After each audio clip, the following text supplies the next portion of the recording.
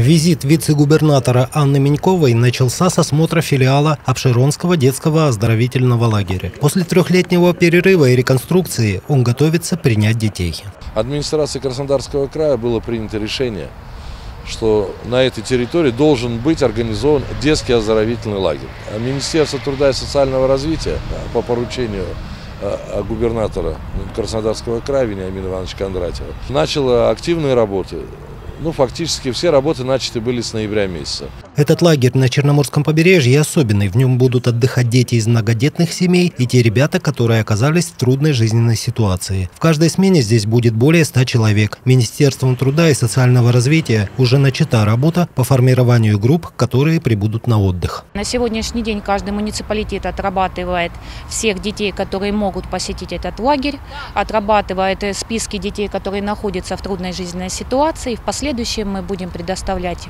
для этой категории эти места. Финансирование предусмотрено 32 миллиона, которые необходимы на содержание, на коммунальную оплату, на питание. Все это предусмотрено и будет предоставлено.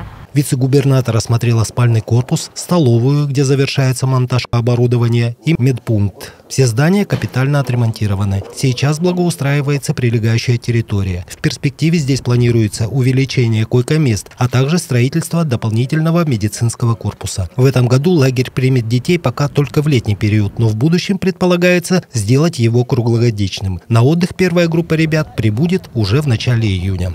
Руслан Душевский, Михаил Григорьев, Анапа, регион.